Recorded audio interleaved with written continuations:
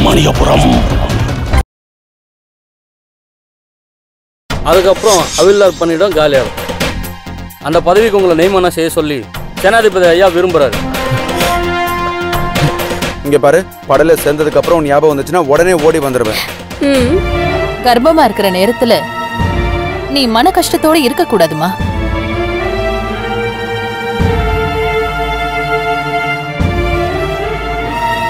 செண்பகவல்லி கர்ப்பத்துக்கு இவன் தான் காரணமா? இல்ல மச்சான் இவனுக்கும் செண்பகவல்லிக்கும் கள்ள தொடர்பு இருக்குன்னு சொல்லி நம்ம அவளை அசிங்கப்படுத்துவோம்.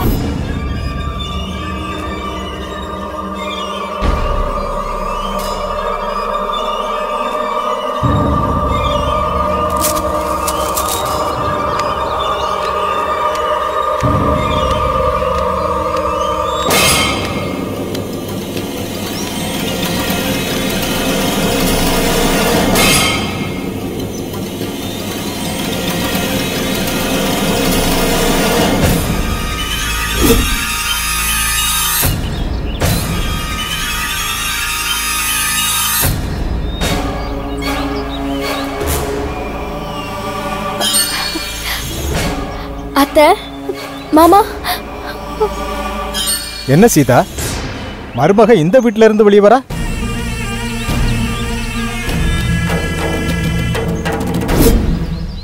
அப்ப ராத்திரி எல்லாம் இந்த வீட்ல தான் செண்பகவல்லி இருந்தாளா? இந்த அம்மாவை நாம கோயில் கோயிலா தேடிட்டு இருக்கோம். ஆனா இவங்க என்னடான்னா உங்க வீட்ல வேலை செய்யற வண்டிக்கார வீட்ல இருந்து வர்றாங்க அத்தை அது யார் வீடுன்னு எனக்கு தெரியாது. நான் இங்க எப்படி வந்தேன்னு கூட எனக்கு தெரியாது. என்னம்மா செண்பகவல்லி? ஒரு நல்ல காரியம் நடக்கிறதுக்காக உன்னை தேடிட்டு இருந்தோம். நீ வீட்ல இல்ல. சரி கோயிலுக்கு போயிருப்பான்னு பார்த்தா எவனோ ஒருத்தன் வீட்டுக்குள்ள இருந்து வரிய. மாமா நான் எப்படி இங்க வந்தேன்னு எனக்கே குழப்பமா இருக்கு மாமா. டேய் வீட்டுக்குள்ள போய் யாராவது இருக்காங்களான்னு பாருங்கடா. சரிங்கய்யா யாரும் இல்ல. நான் மட்டும் தனியா தான் படுத்திருந்தேன். நீ மட்டும் தனியா படுத்திருந்தா அந்த வீட்ல இருக்கிறவன் எங்க போனா? அது யார் வீடு என்ன எதுன்னு எனக்கு தெரியாது. நான் மட்டும் தான் படுத்து கிடந்தேன்.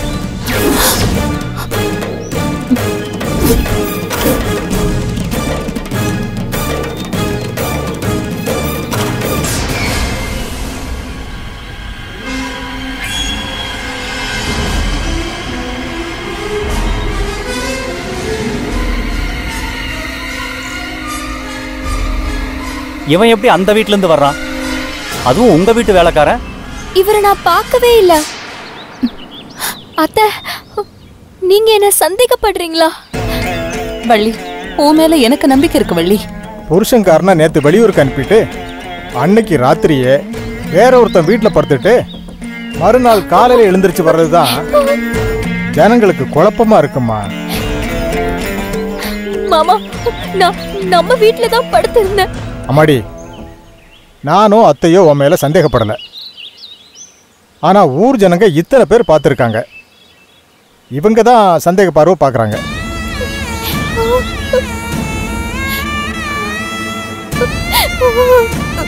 எதுக்கு வீணா பேசிட்டு இருக்கோம் அந்த வேலைக்கார பையன்கிட்டே கேட்டுருவோம்.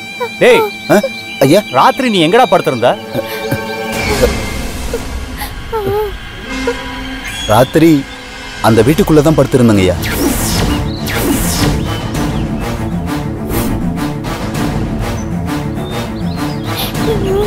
பெரிய குடும்பத்து மருமக. எப்படி இங்க வந்தா? சொல்றா. ராத்திரி ஊரடங்கின பிறகு அவங்களே வந்து கதவை கதவை தட்டினாங்க.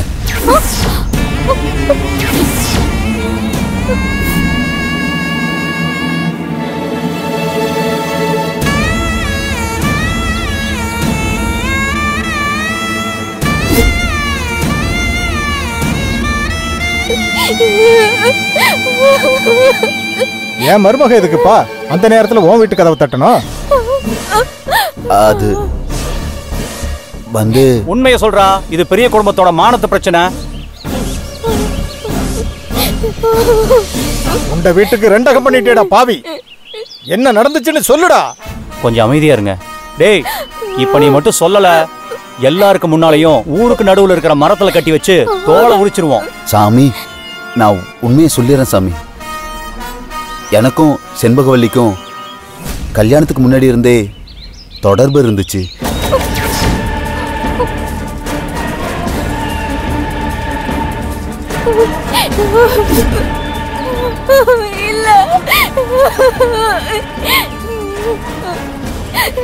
இல்ல. ஐயோ ஊர் ஜனங்க முன்னாடி என் மானம் சந்தி சிரிக்குதே இவன் போய் சொல்றான் மாமா. கடவுள் சத்தியமா? அப்படிலாம் எதுவுமே இல்ல மாமா. நீ தான் போய் சொல்லி எங்களை ஏமாத்த பாக்குற. நான் என்னங்க போய் சொல்றேன் வீட்டுக்குள்ள நீ மட்டும் தான் படுத்திருக்கேன்னு சொன்ன. ஆனா இவன் எப்படி வீட்டுக்குள்ள இருந்து வந்தான்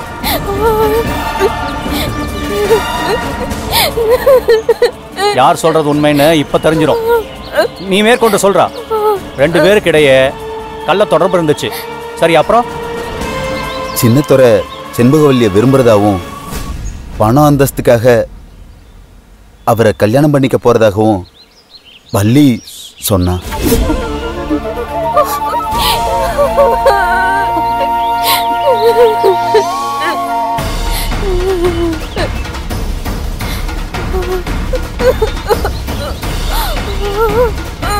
நான் கண்டிச்சேன். பணத்துக்காக மட்டும்தான் குமரனை கட்டிக்க போறேன். எப்பவும் போல நம்ம தொடர்பு இருக்கும்னு அவ சொன்னா. அதனால தான் சரின்னு விட்டுட்டேன். உன்னாக்கு அழுகி போயிடும்டா. அம்மாண்டமா போய் சொல்ற. நான் என் புருஷனுக்கு மனசார கூட துரோகம் நடிச்சதே கிடையாது. கல்யாணத்துக்கு முன்னால நீங்க எப்படி வேணா பழகி இருந்திருக்கலாம். கல்யாணத்துக்கு அப்புறம் ஒரு பெரிய குடும்பத்துல மருமக ஆனதுக்கு அப்புறம் விட்டு தொலைச்சிருக்கலாம்ல? நான் விட்டுறலாம். எதுக்கு வம்புன்னு தான் ஒதுங்கி இருந்தேன் ஆனா செண்பகவல்லி தான் விடலை.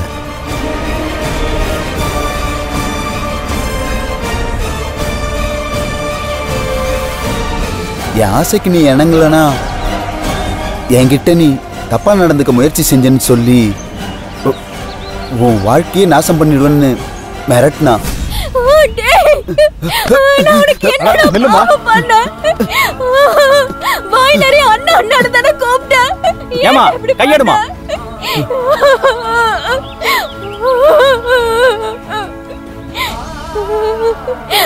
அத்தை நீங்களாவது என்ன நம்புங்க அத்தை. நான் நம்புறேன் செண்பகவல்லி. ஆனா நீ உத்தமின்னு. இந்த ஊர் ஜனங்க முன்னாடி நீ நிரூபிக்கணும். அது எப்படிமா நிரூபிக்க முடியும்? இதோ சம்பந்தப்பட்டவனே சல்லி சல்லியா கொட்டிட்டு இருக்கான். இந்த விஷயம் மட்டும் ஊருக்கு போன குமரனுக்கு தெரிஞ்சது. அவன் உயிரோடவே இருக்க மாட்டாமா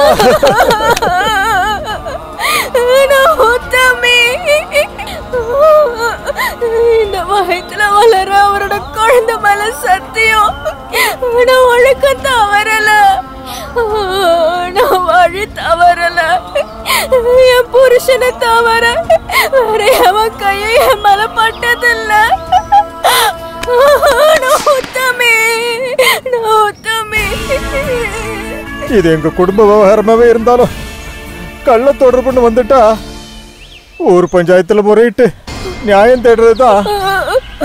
காலகாலமா கடைபிடிச்சிட்டு வர்ற நடைமுறை. என் குடும்ப விவகாரத்தை நான் பஞ்சாயத்துல ஒப்படைக்கிறேன். நியாயத்தை நீங்களே பார்த்து சொல்லுங்க. எவ்வளவு நாள் உங்க ரெண்டு பேருக்கு தொடர்பு இருக்குதுன்னா? செண்பகவல்லி வயிற்றுல வளர குழந்தைக்கு தகப்ப யாருங்கிறது சந்தேகம் வருது. ஐயா அ- அந்த குழந்தைக்கு நான் தான் ஏன் தகப்பேன். டேய் இல்ல இல்ல. நான் புனிதமானவ உங்க பிள்ளைய தவிர யாரையும் மனசார நினைச்சதில்ல. நான் பத்தினி நிரூபிக்க தயாரா இருக்கேன். நீங்க சொல்லுங்க அத்தை. நீங்க சொல்லுங்க அத்தை. ராமாயணத்துல சீதை மாதிரி புனிதத்தை நிரூபிக்க நான் நெருப்புல இறங்கி நிரூபிக்கவா? சொல்லுங்க அத்தை. இந்த ஊருக்கு முன்னாடி நீ கலங்கப்பட்டவ செண்பகவல்லி. உன் மேல சுமத்தப்பட்ட கலங்கத்தை போக்க வேண்டியது உன்னோட கடமைம்மா. அதை எப்படியாவது நீ நிரூபிச்சிரு. நீ நிரூபிக்கிற வரைக்கும் பெரிய வீட்டு மருமக கிடையாது. அந்த வீட்டு வாசலையே மிதிக்க கூடாது. நீ எப்படி நிரூபிக்கணும்னு பஞ்சாயத்துல முடிவு பண்ணி சொல்வோம். பஞ்சாயத்தை கூட்டுங்கடா. வாங்க.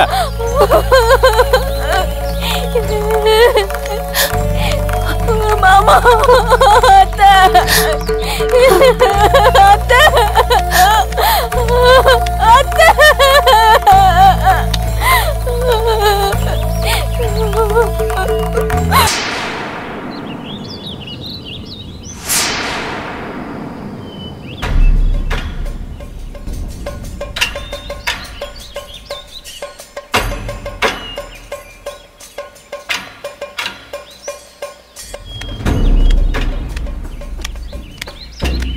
வணக்கம் ஐயா. வணக்கம். ஐயா.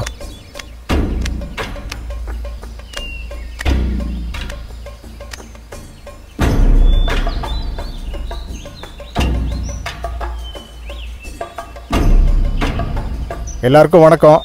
வணக்கம் ஐயா. வணக்கம். ஐயா. பஞ்சாயத்துன்னு வந்துட்டாலே தலைமுறை தலைமுறையா எங்க குடும்பம் தான் விசாரிச்சு தீர்ப்பு சொல்லும். ஆனா இன்னைக்கு என் குடும்ப விஷயமே பஞ்சாயத்துக்கு வந்துடுச்சு.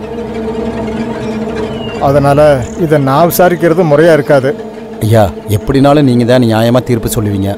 நீங்க தான் விசாரிக்கணும். அதெல்லாம் தர்மம் இல்லை. இந்த விவகாரத்தை வீரண்ணாவோட அப்பாவே விசாரிச்சு ஒரு நல்ல நியாயத்தை தரணும்னு கேட்டுக்கிறேன். ஐயா. வாங்க. ஆ. நடந்தது என்னன்னு ஊர் ஜனங்களுக்கே தெரியும். சுத்துப்பட்டி முச்சோட மரியாதையா பார்க்குற நம்ம ஊர் பெரிய குடும்பத்துக்கு ஒரு பெரிய அவமானமே நடந்திருக்கு. இந்த அவமானம் நம்ம ஊருக்கே நடந்த அவமானம். இந்த வண்டிக்காரன் வீட்டில் செண்பகவல்லிய கையங்களவுமா பிடிச்சதுனால தான் இந்த அசிங்கம்லாம் நமக்கு தெரிய வந்துச்சு. இவங்க ரெண்டு பேரையும் கையங்களவமா பிடிச்சதுனால இந்த வண்டிக்கார பயலுக்கும் தண்டனை கொடுத்தானுங்க.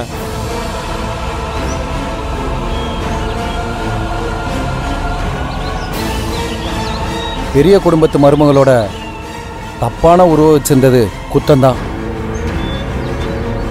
புருஷனுக்கு துரோகம் செஞ்சா நம்ம ஊர்ல என்ன தண்டனையோ அதை கொடுங்க.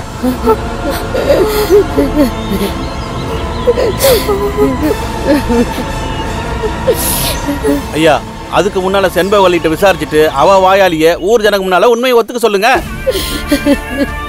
செண்பகவல்லி தாய் தகப்பனை இழந்த நீ இந்த ஊருக்கு பாட்டி அண்டி பிழைக்க வந்த வந்த இடத்துல ஆண்டவன் உனக்கு அதிர்ஷ்டமான வாழ்க்கையை கொடுத்தான். ஆனா நீ அந்த சபலத்துக்கு ஆசைப்பட்டு உன் வாழ்க்கையே நாசமாக்கிட்டியம்மா. உன் மேல சுமத்தி இருக்க குற்றத்தை நீ ஒத்துக்கிறியா?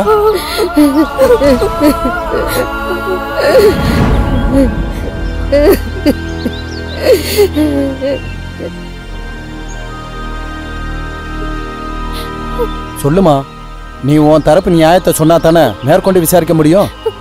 என்னோட நியாயத்தை நீங்க கொன்னுட்டீங்கல்ல? இது விசாரணை சபை. நீங்க குற்றவாளி.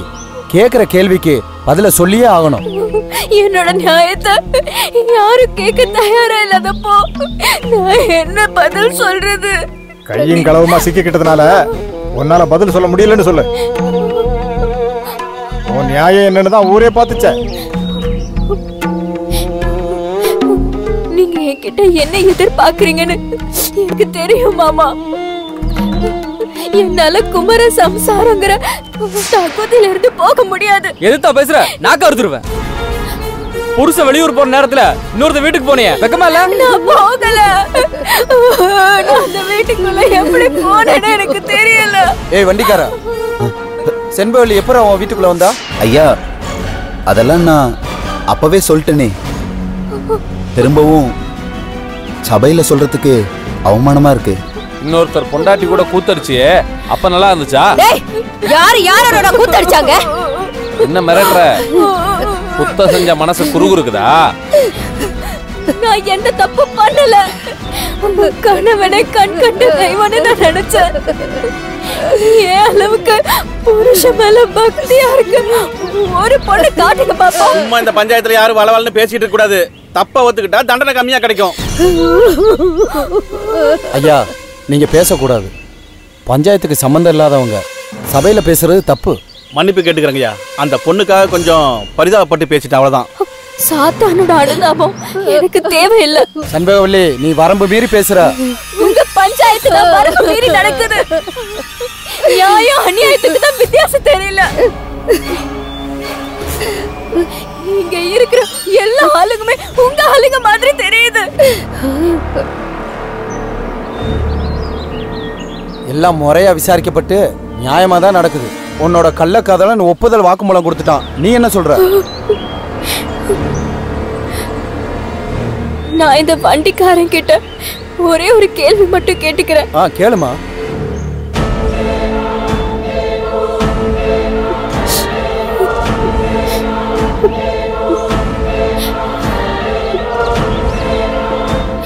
ஐயா வண்டிக்காரரே. இப்போ இதே சபையில சூடத்தை ஏத்துற உன் தாய் மேல சத்தியம் பண்ணி உனக்கும் எனக்கும் தொடர்பு இருந்துச்சுன்னு சூடத்தை அமுத்தி சத்தியம் பண்ண முடியுமா? சொல்லு சத்தியம் பண்ண முடியுமா?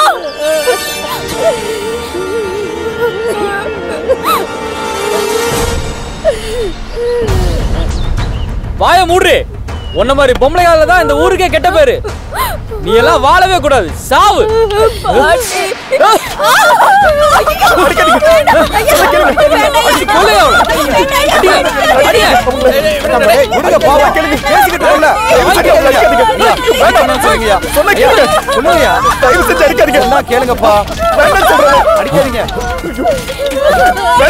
பெரிய குடும்பத்துக்கே அவமானம். சொன்னா கேளுங்க. அவ்வளவு பெரிய. ஐயா, அடிக்காதீங்க. வேணாம். வேணாம். கேளுங்க. அடிக்காதீங்க. நிப்பாட்டுங்க.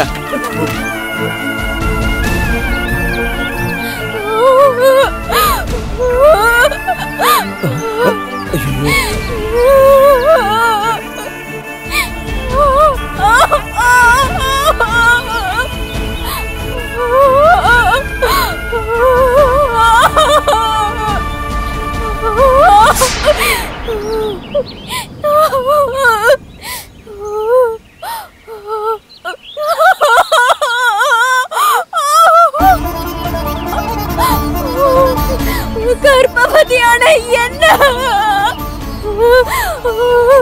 சாவடிச்ச இந்த சுப்ரா மணியபுரத்துல. இனி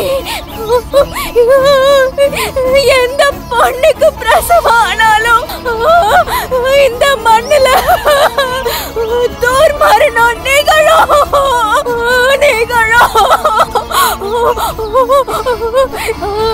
இது என் குழந்தை மேல சத்தியம் சத்தியம்.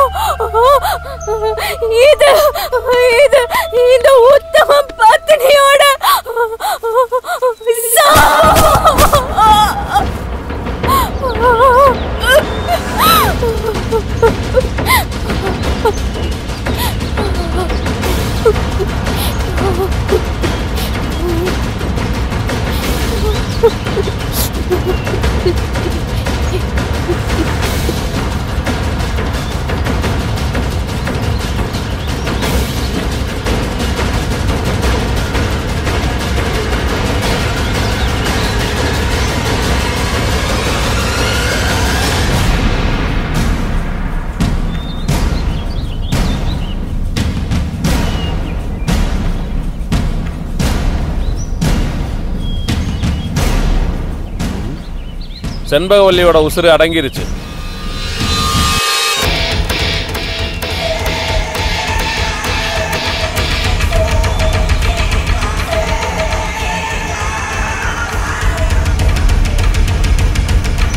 பஞ்சாயத்துல தீர்ப்பு சொல்றதுக்கு முன்னாடியே ஜனங்க இப்படி ஆத்திரப்பட்டு பண்ணிட்டாங்களே. பத்தினி சாபம் பலிக்கும். அது இந்த சுப்பிரமணிபுரத்தை அழிக்கும்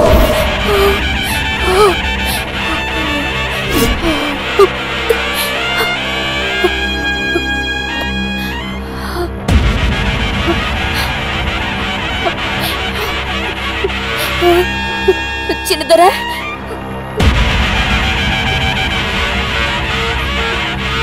சின்னதர.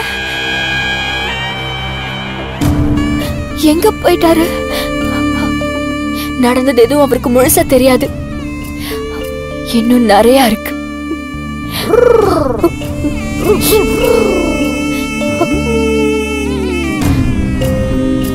சின்னதர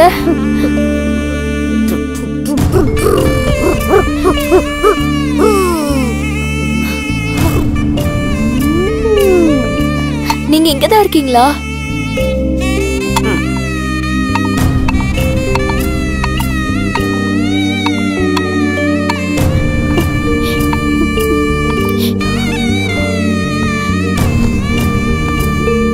என்னங்க நீங்க? சொல்லாம கொல்லாம வந்துட்டீங்க. நான் எதுக்கு சொல்லணும்? நான் யாருக்கிட்டையும் சொல்ல மாட்டேனே.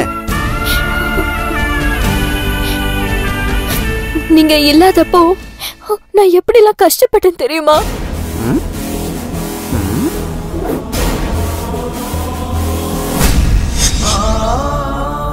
வீட்டுக்கு கொண்டு போனா மட்டும் பொழைச்சுக்குவாங்களா? போற உசுறு அவ பிறந்த இடத்துலயே போட்டுமேம்மா. ஹேமான்னு ஒரு ராட்சசி இருக்கா? அவ பார்த்துட்டானா உன் வேலைக்கே ஆபத்து வந்துடும். அவ ஏன் விஷயத்துல தலையிட்டா? அவ தலை இருக்காது.